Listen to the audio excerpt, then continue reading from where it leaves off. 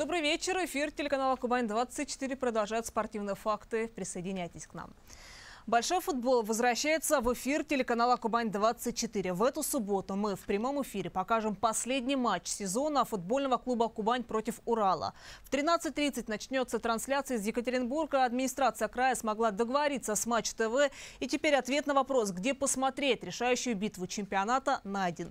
Это важнейшее противостояние для краснодарцев. Только победа над Уралом на 100% гарантирует нашей команде место в премьер-лиге в следующем сезоне. Несмотря на то, что Кубань после домашнего успеха над московским «Динамо» покинула зону вылета и даже зону стыков, она находится в опасности. Сейчас краснодарцы занимают 12-ю позицию в таблице чемпионата в активе 26 баллов. Еще раз повторюсь, всех болельщиков желто-зеленых Кубань-24 приглашает э, к экранам в субботу в 13.30. А футболисты Краснодара 30-й тур РФПЛ отыграют при своих болельщиках дома, а также в субботу в 13.30 на стадионе Кубань.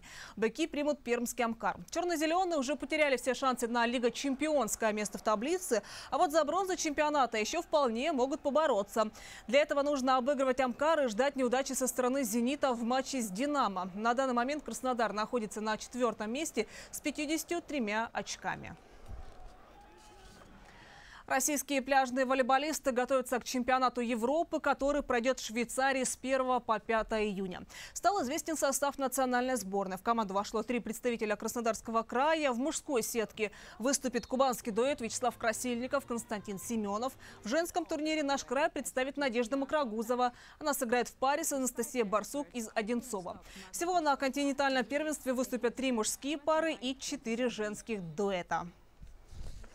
А вот женская сборная России по классическому волейболу прибыла в Анапу, где пробудет до 7 июня. На Черноморский сбор главный тренер Юрий Марич вызвал 16 волейболисток, среди них три игрока краснодарского «Динамо». Это диагональная Наталья Малых, центральная блокирующая Анастасия Самойленко и доигровщица Татьяна Кошелева. В Валиеграде национальная команда будет готовиться к Олимпийским играм в Рио. Обычно позитивно настроенный Марич в присутствии журналистов на сборах в этот раз попросил сотрудников прессы не беспокоить ни его, ни подопечных. Понятно, тренер не намерен пока делиться своей особой программой подготовки. Но прежде чем девушки отправятся на главный старт сезона, им предстоит э, принять участие в мировом гран-при. Турнир пройдет в Калининграде. Первый матч россиянки проведут 10 июня против сборной Голландии.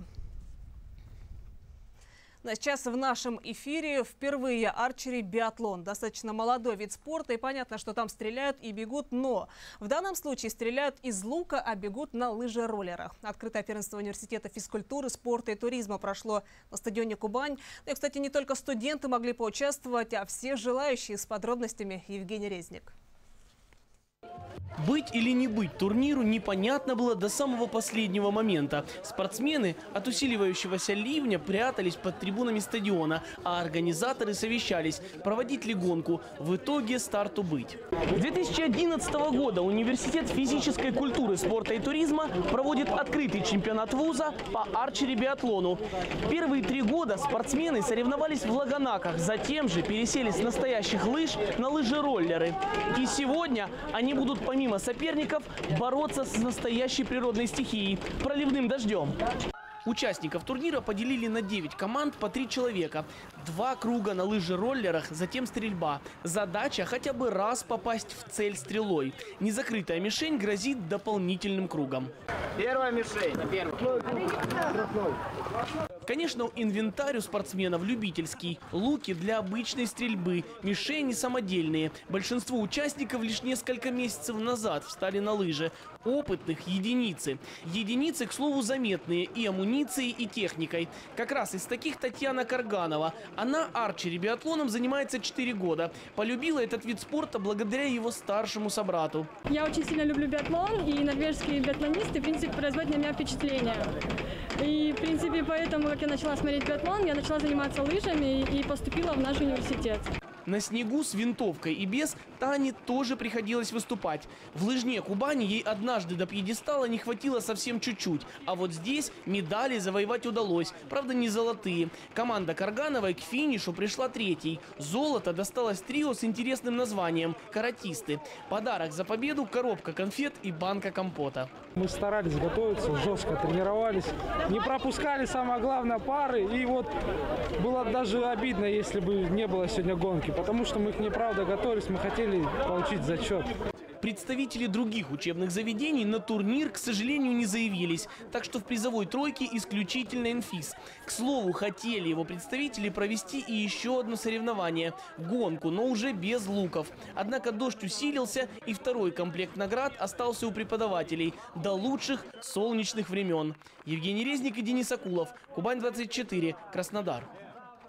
На очереди рубрика «Герой недели» и очаровательная олимпийская чемпионка Ирина Караваева. Однажды Ирина потрясла весь мир необычным поступком. В 2001 году на чемпионате мира в Дании она отдала свою золотую медаль немецкой батутистке. Караваева посчитала, что судьи ошиблись и незаслуженно вручили ей награду высшей пробы.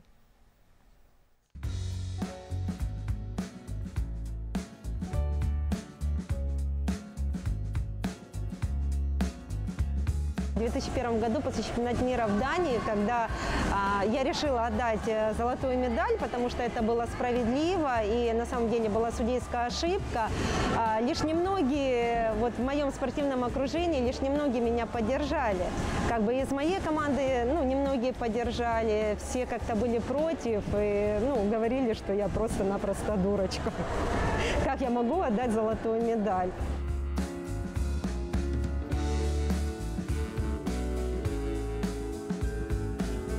Считаю, что э, спорт должен быть справедливым, потому что на самом деле э, мы просмотрели все соревнования, на самом деле это была судейская ошибка, я не выиграла одну десятую, я ее проиграла. И я знаю, что такое, потому что до этого я уже была чемпион, чемпионка мира, я знаю, что такое выигрывать, и сколько, сколько надо работать, сколько надо пахать, чтобы э, стоять на пьедестале и получать эту золотую медаль. Я просто это знаю. Ну вот, вот так сложилось в моей жизни, что, наверное, через это надо было пройти. Отдала Ан- Аня Даганадзе, мы с ней, наверное, мы были с ней хорошие подруги, и мы всю жизнь не соперничали. Буквально, ну, лет 15 мы с ней именно соперничали. То она первая, то я первая. И такая была это уже мировая интрига, что отда- отдадут русские медали, не отдадут. Очень много было шума. Ну, как бы такая очень неприятная ситуация была, что люди могут, э, ну, как бы так думать, говорить, что можно в спорте поступить несправедливо. Мне кажется, спорт, он просто э, тем, что он спорт, он и есть сама справедливость. Ну, кстати, спустя время после этого поступка Ирина была удостоена награды Fair Play, то есть за честную игру.